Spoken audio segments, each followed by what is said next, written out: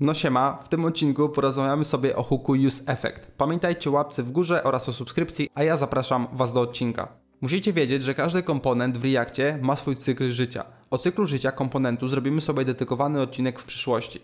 Na ten moment musicie wiedzieć, że w danym cyklu życia nie możemy robić pewnych rzeczy, które możemy robić w innym cyklu. Na przykład, kiedy już wyrenderujecie komponent, to nie możecie zmieniać jego struktury lub też animować. Do tego właśnie używacie hooka useEffect. Możecie sobie to wyobrazić w ten sposób, że jeżeli już włączyliście dany komponent, on się wyrenderował i na przykład klikacie baton, który ma za zadanie obsłużyć Wam jakąś płatność, to właśnie wtedy używacie useEffect. Tak samo useEffect używacie, kiedy animujecie div przy renderowaniu strony, na przykład wtedy, kiedy używacie dsapa. No ale przypominając jeszcze raz, o tym porozmawiamy sobie w dedykowanym odcinku, a teraz przejdźmy do rzeczy. Importujemy sobie useEffect, no i co teraz? Zwykle w przykładach o useEffect pokazuje się, jak obsłużyć jakieś zapytanie, na przykład za pomocą Axiosa. A co ja zrobię?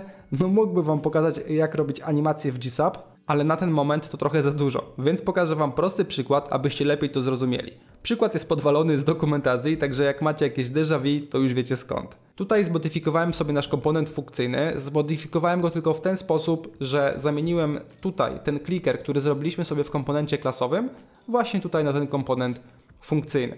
Teraz importujemy sobie useEffect, czyli przechodzimy tutaj wyżej, następnie wpisujemy useEffect.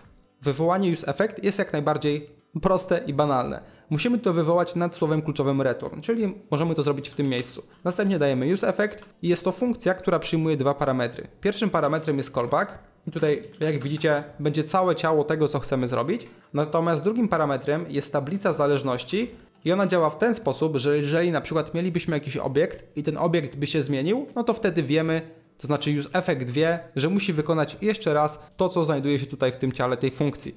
Na ten moment my tego nie będziemy potrzebować, potrzebujemy tylko samego useEffect. Tak jak wcześniej wspomniałem, przykład jest podwalony z dokumentacji, a działa on w taki sposób, że teraz odwołujemy się do dokument, następnie do title i tutaj dajemy kliknięto i tyle razy, ile mamy nasz state number, czyli tutaj number razy.